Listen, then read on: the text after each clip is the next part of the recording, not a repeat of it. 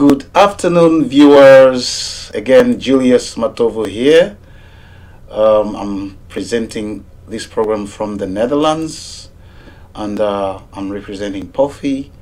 Um, this ch channel is meant to educate farmers on how to go organic.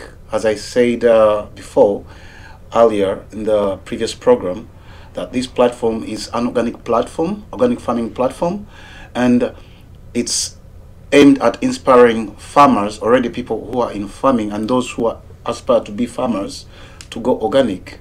For one reason that organic farming is the way we see that the environment can be uh, uh, saved and also if the environment is saved, then we're assured of uh, healthy food and um, um, life to be a normal life uh, not expecting to eat things which are contaminated with chemicals and stuff like that.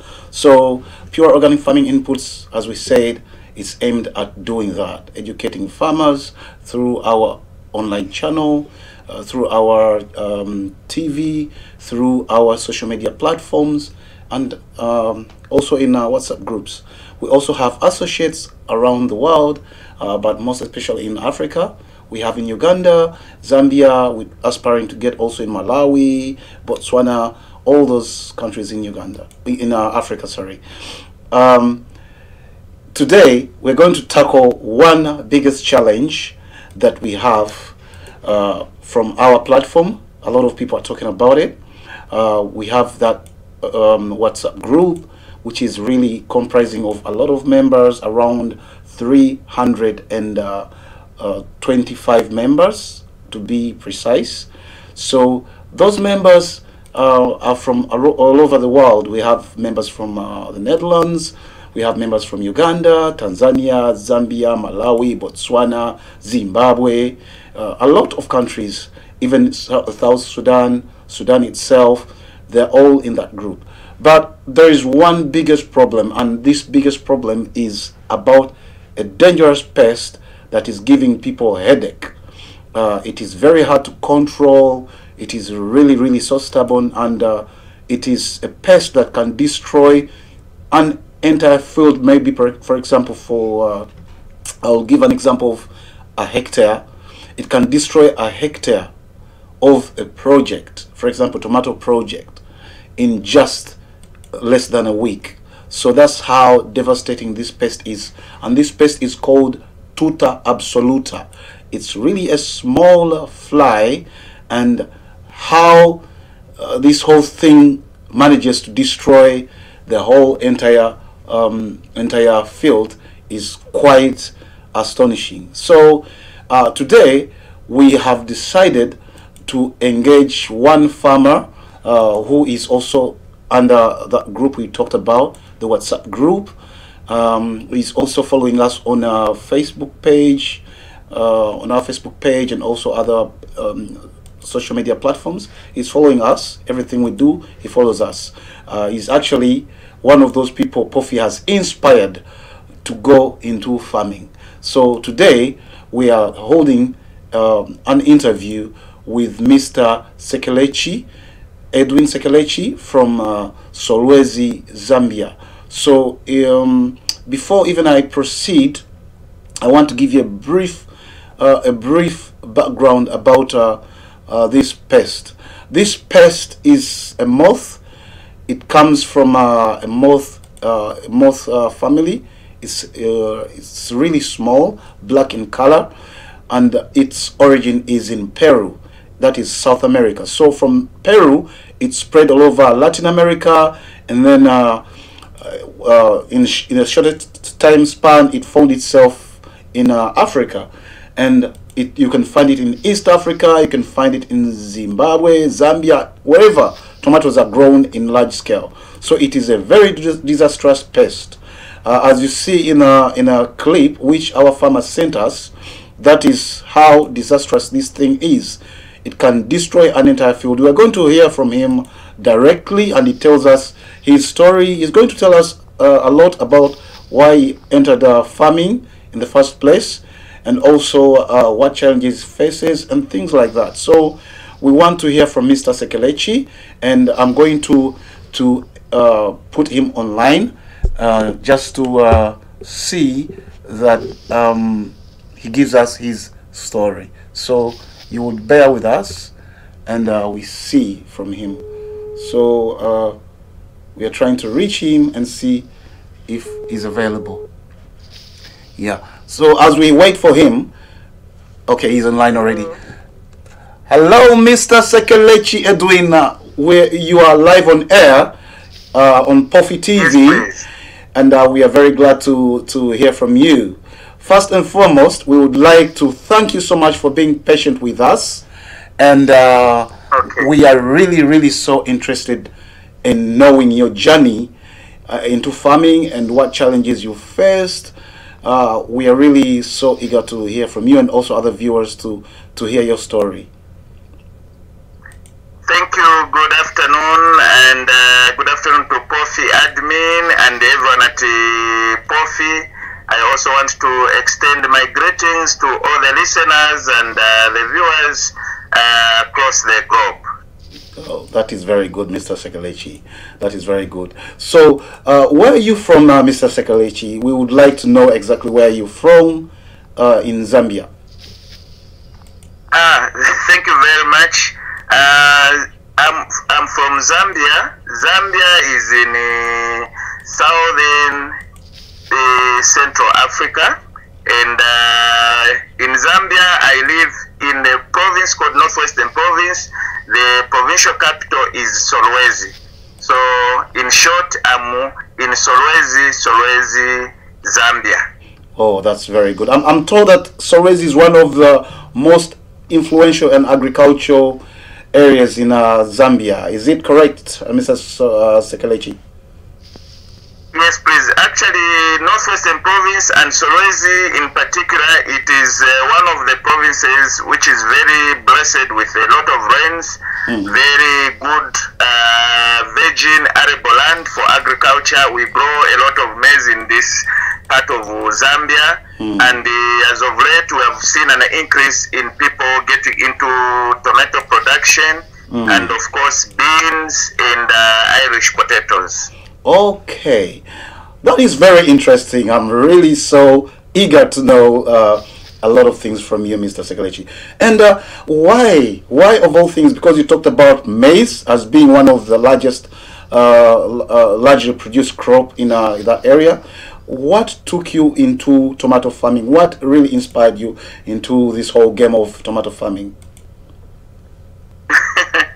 um, it's a very interesting and uh, uh, you see we get inspired by things that surround us Mm. and uh, one thing when you look at tomato tomato as uh, is an edible fruit Mm. which has a high nutritive value Mm.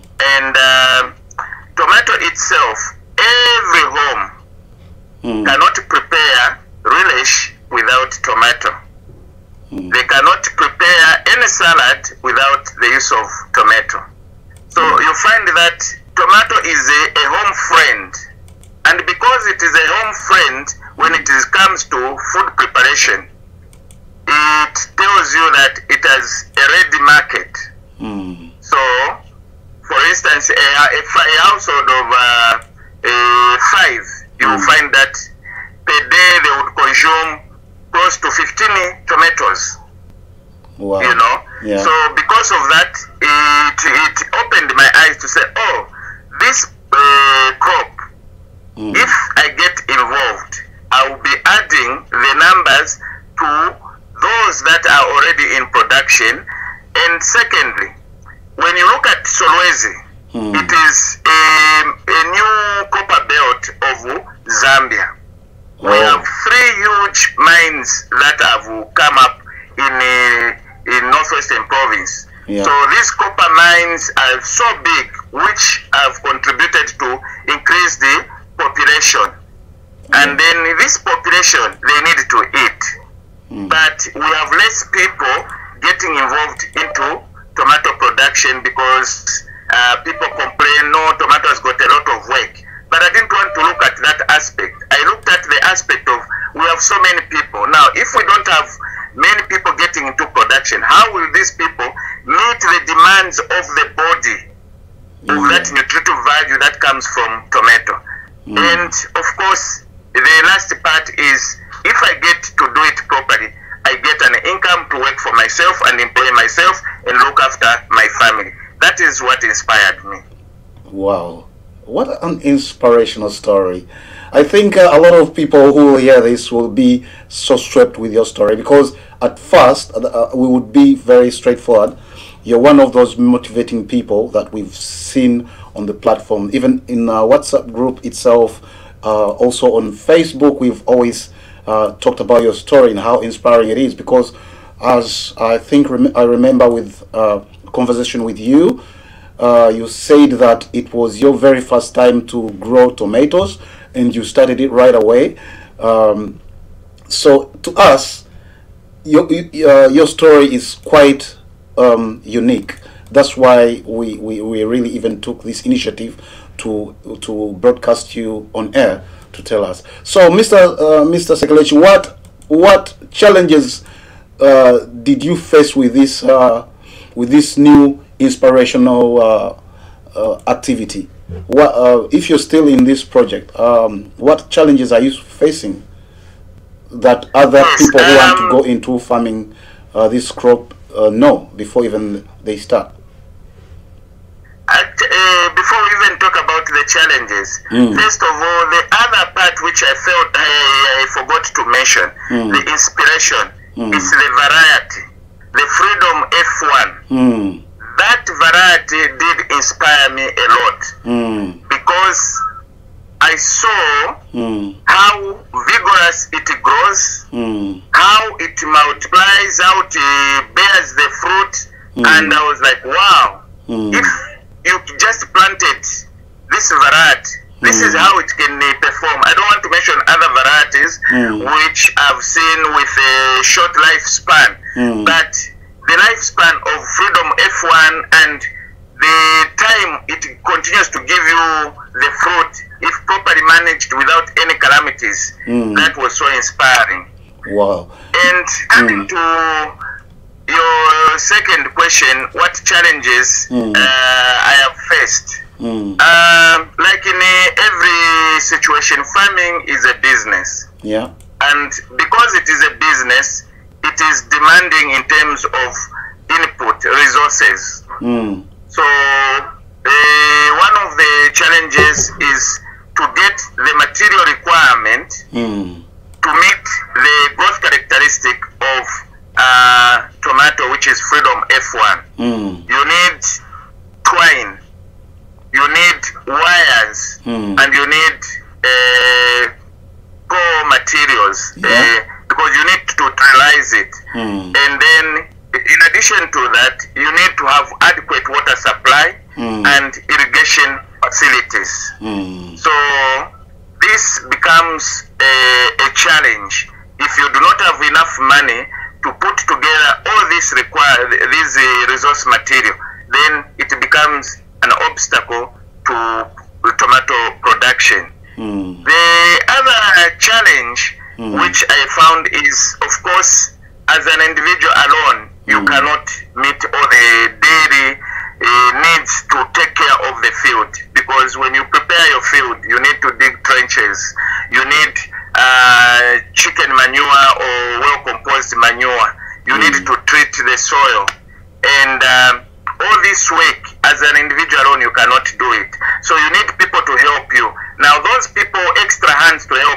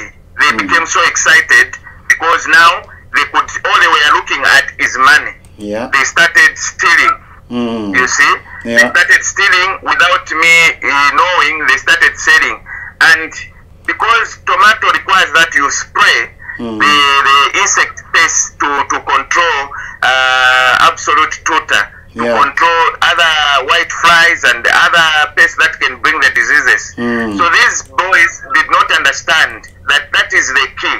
Mm. Their interest was simply to, to, to get tomatoes and sell. And mm. then they stopped spraying the chemicals. Mm. Unfortunately, I could not monitor this part because I had received a funeral. Uh, I lost a sister in the family and I traveled out of town. Yeah. So I was away for one week. And during that time, that was the critical time when the tomato had just uh, started getting red. And that, I slept on that one and boom, I was affected Oh. when I came back, I could see, I could observe mm. some things that the things were not right. And before I could start putting patches here, talking to this boy, again I lost a brother, uh, an in-law. Mm. My niece lost the husband. Mm. Again, because I'm a senior member in the family, my my presence was needed there. You know the African setup. Yeah. So again, I had to go there until someone told me to say we have caught the boys uh, selling tomato. So those are some of the things. That, uh, when it came to, I was using again uh, a water pump. It was a small water pump, Mm. and the field was quite big to be uh, supplied by using that water pump. Mm. Uh, petrol is expensive, and I was spending 20 liters of petrol per week Wow. which somehow was not enough. Mm. So, and then I did not have enough money to meet that. Mm. So, that also became a, a challenge because these boys, they are in the local area where my farm is, there are people with a lot of motorbikes. What I didn't know was that they were stealing fuel and selling to those guys who have motorbikes. Oh, that is very. Now, now I'm, I'm seeing the whole how the whole thing pans out to be quite challenging, and uh, still I would applaud you for your charisma to stick on.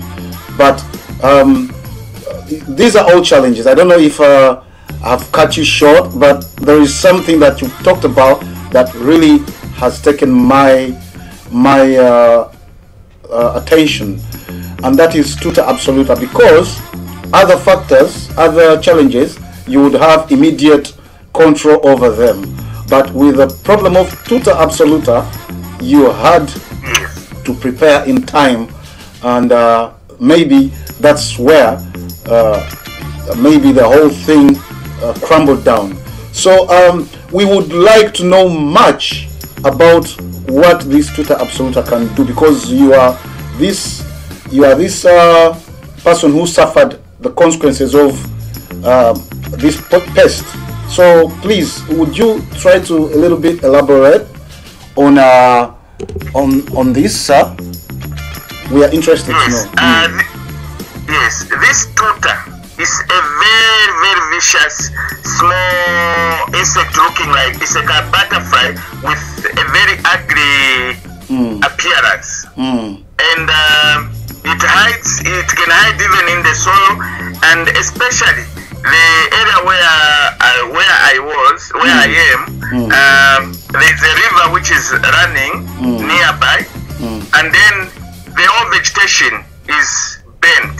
mm, So when the burning of the bush is happening, it it goes to height in, in, in near the green vegetation which is along the river banks, and in the night it comes out. So immediately it has access to the field, the only green field around mm, which is the tomato field. There is no any other veg- the green vegetation around because the trees are so high. So the only accessible vegetation in mm. that Mm. area is the tomato. Mm. So, and um, it attacks early in the morning. And the, the, the time you find that it has disappeared. So, meaning uh, if you don't spray mm. uh, the total absolute uh, remedy or uh, insecticide, like the one I saw, which you are using uh, with the, this uh, neem, neem tree, whatever it, the production. Oh yeah, one, you, you mean the oikos, the, the oikos product. Actually, uh, we are trying to we are trying to uh, uh, talk to the company here in the Netherlands that uh, sells that uh, the, uh, that product. However, we have a challenge of the price because some of the companies have strict rules that uh, if this product is not going to be used in the Netherlands, then we cannot uh, send it outside. It's uh, usually strictly to be used here. But some other com- companies are liberal a bit, and also you will look at the way it's exported. Companies like DHL uh, consider this product as a dangerous, uh, uh, as a hazardous uh, product. I don't know why they they take it like that, but it's organic in nature because it's made from the neem tree. Uh, but yeah, to, to, to, to be precise, we are still trying to find other remedies to this pest. So maybe in the platform we shall be discussing about this. But already we, we indicated it in, uh, in the group that it's quite expensive right now because of the ongoing war in Ukraine. Uh, a lot of stock is limited, and most farmers now they are looking only to maintaining this supply for only Netherlands. So we are, we are quite chal- challenged with this, but we, uh, we believe that at, uh, at the end of the tunnel there is always a light. We believe that we, ha- we will have a solution to it. Yeah. Yes, because uh, tuta is the biggest challenge to tomato production. Mm. Yeah. I'm not the only one. I was told to say actually it attacked uh, this part of Solwezi. Even other farmers got affected. There is a friend of mine, uh, lucky him, is growing within town. So he has uh, prepared this uh, field, and uh, fortunately, he had some extra income because he works in the mine. So he was able to buy the total treatment mm. because even here in Zambia, it is expensive. Just uh, one liter, it mm. goes um, around uh, close to 500. So 500 kwacha. Now, if you convert that to the dollar exchange rate, you'll see that it is indeed on the higher side. So now, when you are going into this, and in my situation where I had limited resources, so it was so difficult for me to to capture this quickly and prepare myself so that I should uh, introduce this uh, thing because I could not see that it was there. The only thing I was seeing were the white uh, flies, white butterflies. Yeah. Those my small fly, white, yes. Those I could see, and each time we spread, we were able to. But Hello. and all of a sudden, I even knew. Yeah. Uh, Mr. Yes. Uh, Mr. Sekelechi, are you online? Hello? Yeah, can you hear us now? Yes, I can hear you. Oh, okay, that's very good. Okay, Yes. now that Mr. Sekelechi, um, we've had the challenges and uh, they are quite uh, disturbing. Uh, we all we can tell you is that still you are a winner because you've seen all these challenges and uh, you have solutions to that. Um, we would like to know what kind of uh, how, how how did you manage at least to try to solve these problems? How did you manage to face this challenge? Uh, One thing which I tried to do was immediately tried to improve on water supply. I had to look for a solar pump so that I can increase the number of uh, uh, times to to to, to provide water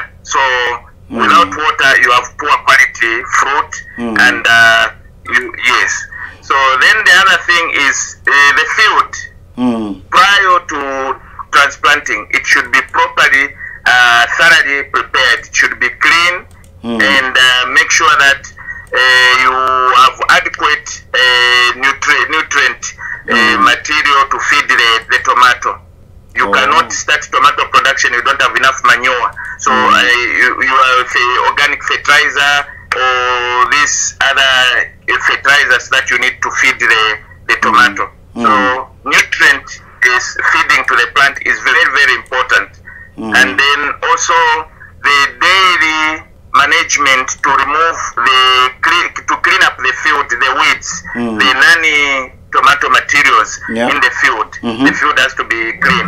And then also you need to, to make sure I had to make sure that I came up with alternative materials to support the, the tomato because you need to keep it upright. Oh, So that also yes, We- because that is very very important. You can't keep it down; it will get affected. So you need to keep it.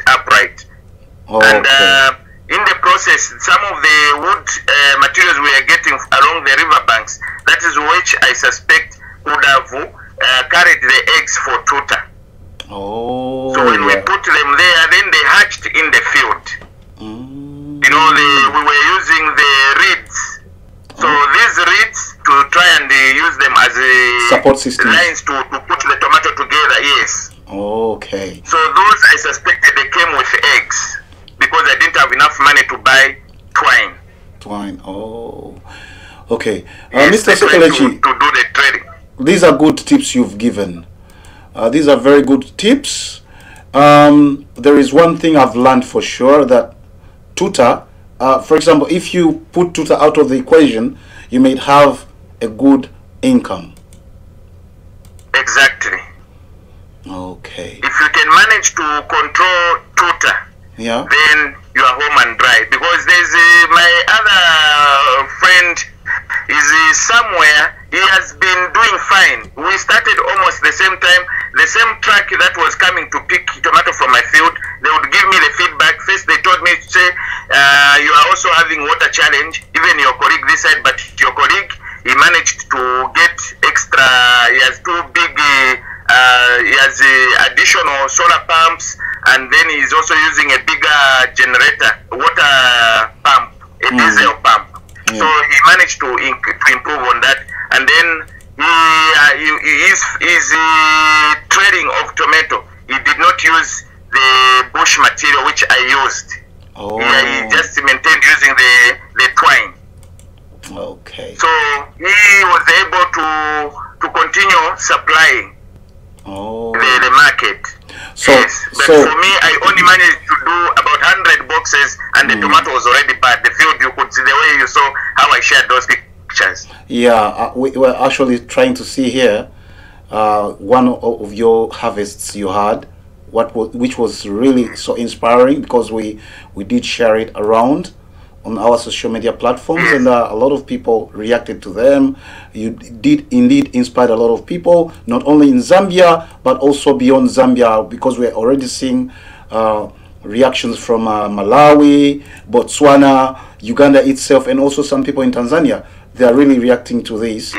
Uh, so, um, so um, my question is, you mean that if you, for example, next time you go into again uh, tomato farming, you would do exactly these things? Do you think the whole challenges will be sorted? The whole challenge will be sorted because now I've learned that you can't afford not to spend 100% time monitoring every activity of management. Hmm. No. Because if only, Mm. if I did not go to, to attend that funeral, the two funerals, that period, which was so critical, because that's the time when the tomato was getting ready, Mm. meaning the spraying would have continued, Mm. and uh, I would have been monitoring the, those boys. So once you do micromanagement, then you are allowing the problem to come in. So you have to avoid micromanagement. So okay. Um, you know what I like? I, I really I I really got impressed about your project because you did employ people. You did give people work, and that is the this whole concept. Like we have to increase employment, but only that people looked beyond that. They only they only thought about money and uh, they did not think about what if this whole thing goes down, we lose work. So Yes, you did your part. I was feeding them every day. Yeah. I bought them cell phones for the first time. They had cell phones in Wow. their life, which I've never had. Wow, Th- that's really so impressive. You know, I've never, I've, I've even uh, myself never thought of like if someone can do that for farmers, for uh, people who work on their farms. But if you did this, it meant that you really loved your project. And um, as POFI, you know, we talked about uh, being supportive. Uh, we shall uh, communicate to you on how we can be helpful, and also uh, we would like to stand here on this platform to to uh, to mobilize all those people around the world who would really like to support people like Mr. Sekelechi who are trying to change their communities through farming, through uh, um, uh, uh, growing food or growing um, organic food, uh, please do give your donations. You can always contact us on our uh, uh, communication lines. We've shared our emails and uh, uh, the phone numbers. Mr. Sekel, people like Mr. Sekelechi really need do not really need a lot. They need maybe uh, half of what you could give us. So for us, we are always happy. We've helped through our association. We've helped people by giving them seeds to uh, start up their projects. And Mr. Sekelechi is one of the beneficiaries in the first place who benefited from these seeds. But uh, after him showing us all these results from these seeds, we're even more happy to be helpful to his next project. So anyone who wants to be supportive to Mr. Sekelechi and other people in the communities who are trying to eradicate poverty through creating uh, jobs for, for their communities, we are welcome to, to receive your support. Uh, to uh, to because now we are exceeding the time uh, I think you've given you had uh, uh, promised to give us. We would like to get your conclusive words. What are your conclusive words? What would you uh, recommend to all those people who want to go into farming, specifically tomato farming? What are your key words? My key words is first of all is resilience. We need to be determined. We should never give up. Secondly, uh, organizations like uh, POFI Hmm. should not give up on starter farmers like us and individuals. Hmm. And the other thing is my appeal to all well wishers, like you have said, if only I can receive additional support, if I manage to employ five people, and if I expanded on the on my works, how many people will I be able to reach out there? One thing I learned out for during this experience, I, I was even able to make tomato jam, which I Wow. only had to do crush the puree and then I use the orange peels, uh, the yellow part, mix it, and and there we are with sugar, and it was pure organic fruit jam. Wow. Wow. Yes. this you know this is what we're talking about uh, empowerment and poverty eradication it does not a lot of people think it's it's really a big thing but poverty eradication is all about creating empowerment to people educating them and giving them support on how to handle things uh, to to get out of poverty but what you're doing mr Se- uh, sekelechi is really nice. We would look forward to helping you uh, through our associate um, uh, AgriHeads. I think uh, that is miss maureen nyimba. Uh, we would be we would be communicating to you on what we could do. And uh, who knows? You'll be back on your feet and uh, give us more inspiring stories